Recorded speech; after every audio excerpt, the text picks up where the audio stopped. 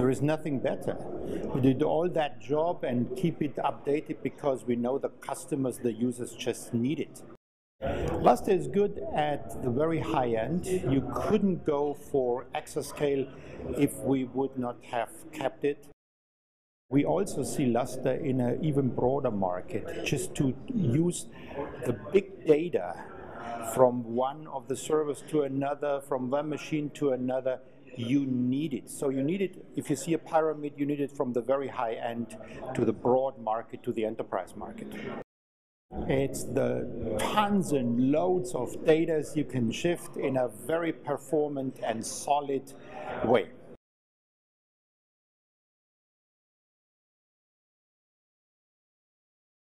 Certainly it does. Even more, it will come up. As I said, we come from the very high end, and now we go into the enterprise market because there is a tremendous need for it.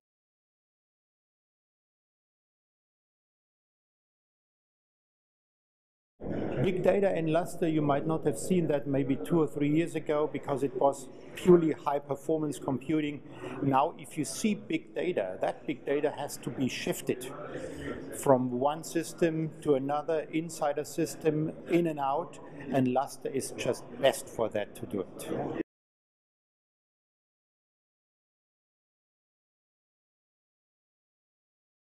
You see it here in Paris at LAD. You see it at Lustre user group meetings. It's a great community where developers and users join together. You almost don't see that in other fields in high performance computing, where you have that close relationship and that spirit between developers and users. And both of them, both sides know that they're working just for the best.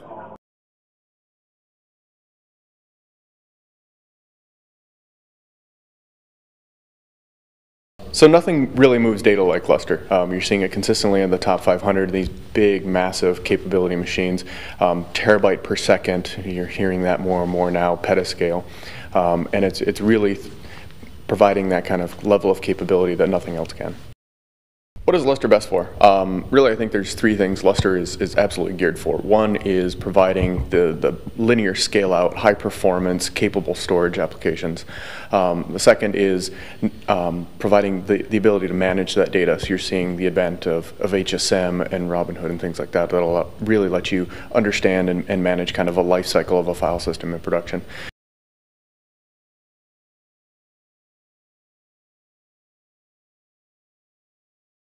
Does Lustre have a role to play in the enterprise? Absolutely. I think there's a lot of the science applications that are being moved kind of down market, and the hardware is kind of coming up from the other side to meet in the middle. And there's a lot of need for a file system that'll give that performance and allow the users to pump out the data they need for those, those kind of analytics.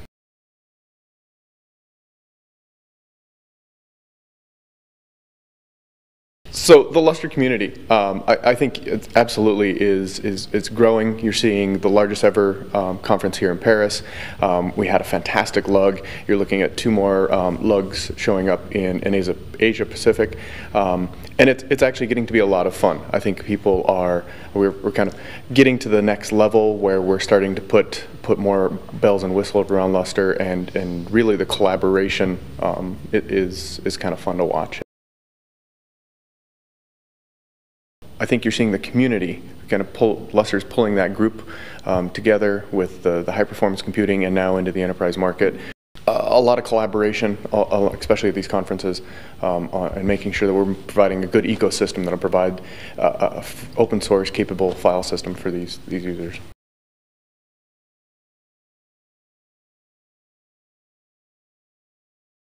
Why Lustre? Oh, so many reasons. Lustre is fast, it's scalable, it's open. Uh, if you don't like what's there, you can tweak it. That's what we've done at Indiana.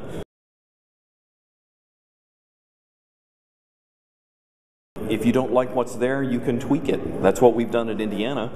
Um, in terms of scalability, we started out, uh, we had maybe 500 terabytes.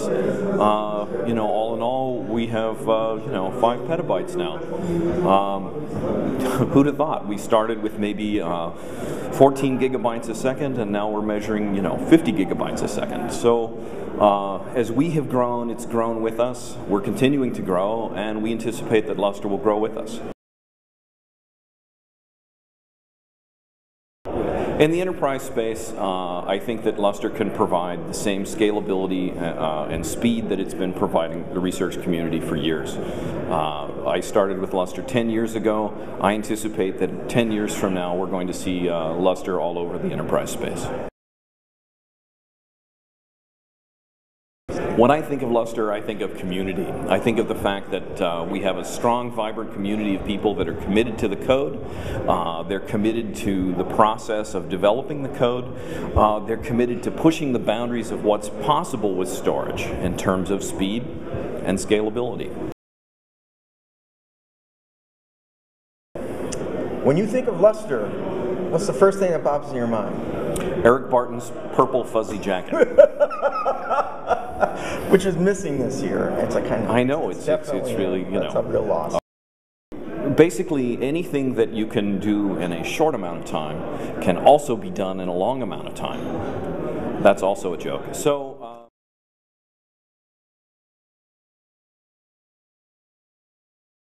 Why Lustre? It's probably the most scalable, high performance open source file system available today. It's, it's providing stability um, to some of the largest scale computational environments in, in the world.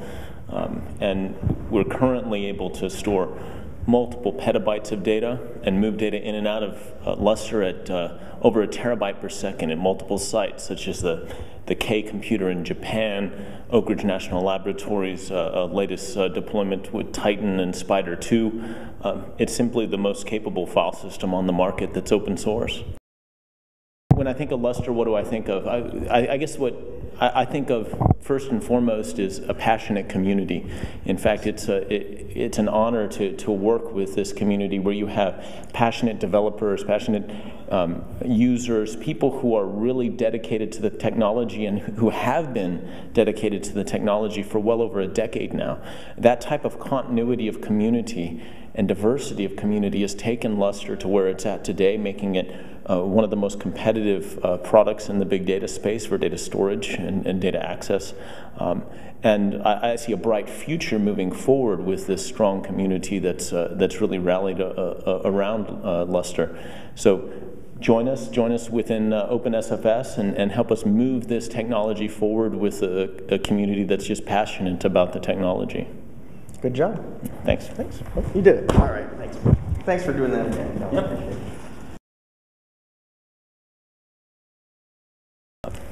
So you want me to tell you a little bit about the configurations of Lustre at, uh, at Oak Ridge National Lab? It's actually very interesting question. We've got a, a large diversity of uh, a, a, diverse set of, of deployments at Oak Ridge, spanning large-scale HPC systems. Everybody has heard about Titan in the HPC space, but what people might not be aware of is we're using Lustre now for data-intensive workloads. We're using it to archive high-value data sets from um, large-scale scientific instruments, such as the Spallation neutron source.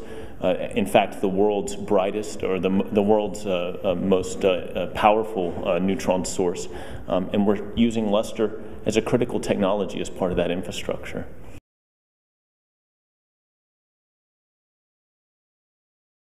Does Lustre have a role to play in the enterprise? I, I, think absolutely today it does. If you would have asked me five years ago, I would have said, mm, science project, right? Um, because we're, we're really scaling up the, the, the infrastructure and spend a lot of time working on scale. Well, in the past five years, we've been increasingly had our eye on stability right, and manageability of the infrastructure, which is critically important as we move to the enterprise. Now, the enterprise is being uh, confronted with large scale data challenges that can't be met by uh, many of the traditional file system offerings, be it NFS or, or other technologies. Lustre's well positioned now that we've put uh, our res- resources behind stabilization, uh, maintainability, and the product is becoming extremely mature. why is hierarchical storage management such a critical component of, uh, of a Lustre uh, file system deployment?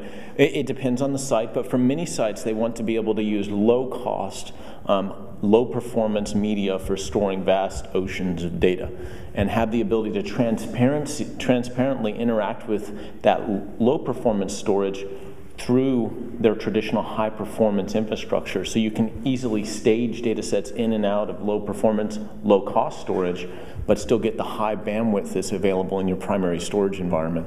Uh, a, a, critical feature that CEA uh, rose to, to the challenge of developing. Uh, in fact, probably one of the, the largest uh, uh, contributions from, uh, from the community to date, and we look forward to that being in, in the latest Lustre release, Lustre 2.5.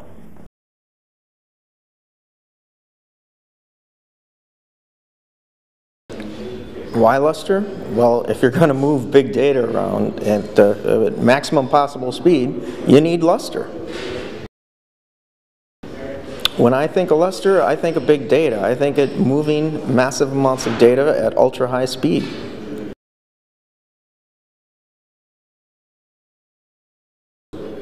Does Lustre have a place in the enterprise? Absolutely it does. Uh, we've been studying big data now in our publication for a couple of years, and uh, we, we see tremendous need and a growing need to move data at high data rates and supply these analytics uh, with the information they need.